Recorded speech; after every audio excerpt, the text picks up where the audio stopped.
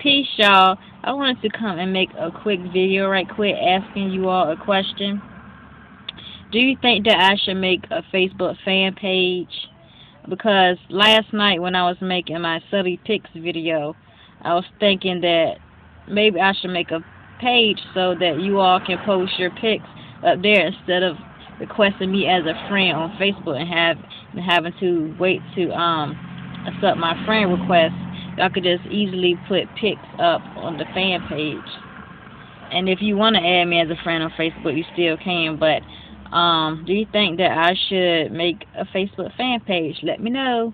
Peace.